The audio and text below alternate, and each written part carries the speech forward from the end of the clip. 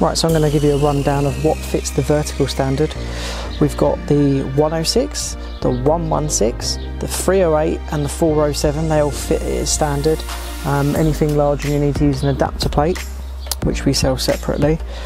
So for the vertical standard for mounting the um, 106 and the 116, what you'll do is you'll find within within the 106 and the 116 there are these two fixings here and here um, or two fixing holes and this is where your screws are going to go through.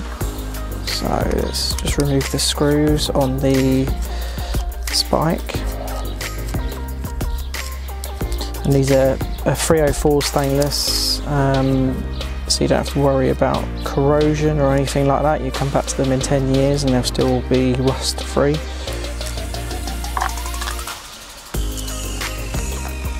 So you just pop the screws through the membranes. And then you're literally going to screw straight onto the spike.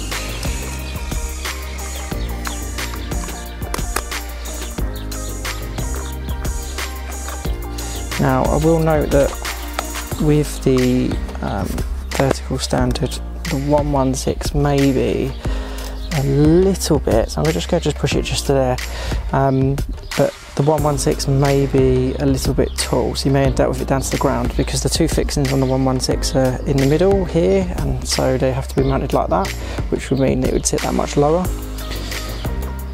Um, so you have to be kind of wary of when it sits that much lower, um, how far you can kind of spike down.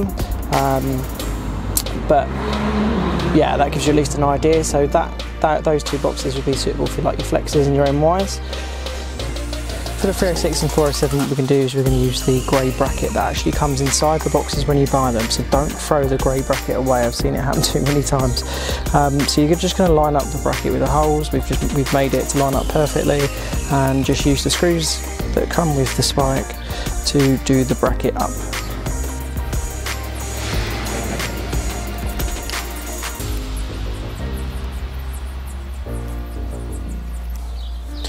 Now, I'd suggest that you connect your cables up to the box before you mount the, mount the box to the spike. But either way, um, basically all we can do is just going to push the bracket onto the box like so and then spike the box in.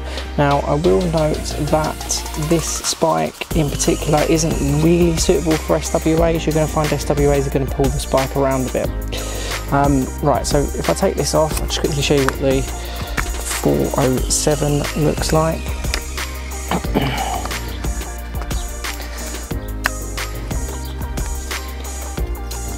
And for SWAs, we do actually do a um, mounting option separately called the SWA topper that's perfect for it. You could use a vertical long. Um, I would.